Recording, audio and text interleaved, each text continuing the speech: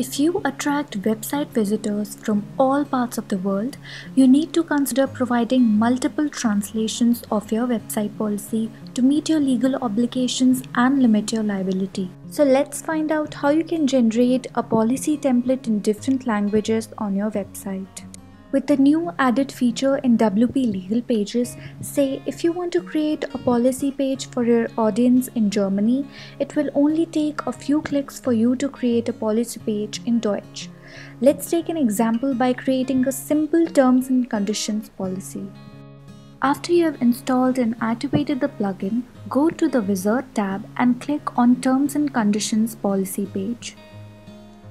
Here, you can choose from 5 languages other than English to create your policy page.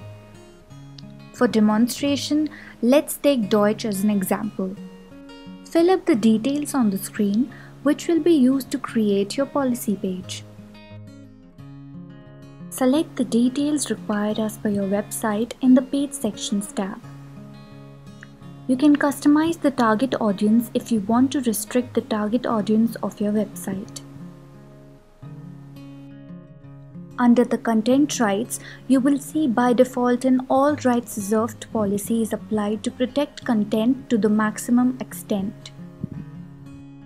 The Common Provision tab holds common provisions clauses that are to be considered no matter the type of application.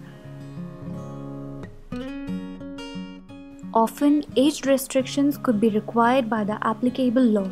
Under this tab, you can set the age limit of a user and also choose to display a warning at the top of the document.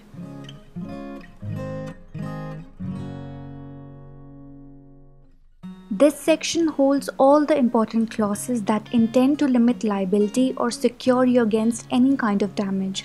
Given the different approaches that various legislations take, we have included various sections that you can use depending on your needs.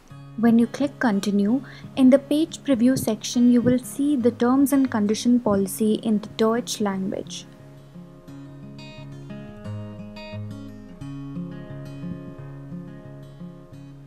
When you click on create page, you will be redirected to the all pages section where you can edit the terms and conditions in the editor if need be.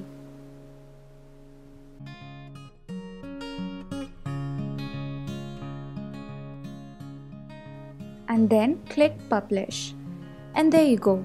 In no time, we have created a compliant terms and conditions in the Deutsch language.